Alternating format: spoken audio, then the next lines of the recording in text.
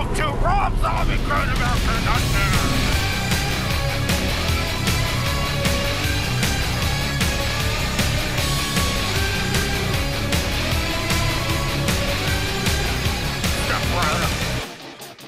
Great. I'm here with Tony, and he just has a movie coming out tomorrow. What's the movie?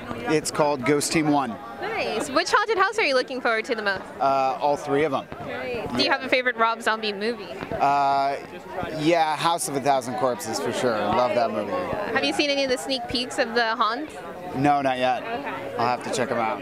What band are you looking forward to the most from Rob Zombie's Great American Nightmare? Uh, probably him. I mean, is he gonna? He's gonna be doing He's the show. gonna, yeah. Oh yeah, for sure. Have you ever seen Rob live? No, I haven't. It's crazy. You have to. Oh, I can't wait. Yay. And do you have a favorite um, childhood memory from Halloween? Um, yeah, my my mom was trick or treating with us, and uh, a neighborhood bully jumped out of the bushes and scared her, and she pushed him, and he fell over the bushes.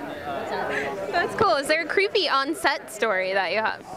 Uh, yeah, so we didn't know, but there was like another family living in the house that we were filming in. So like we would hear babies crying and thought the house was haunted, but it was just real babies in this like weird part of the house that we didn't even know was there. All right. What can you tell us about your film? Um, it's like Harold and Kumar meets Paranormal Activity.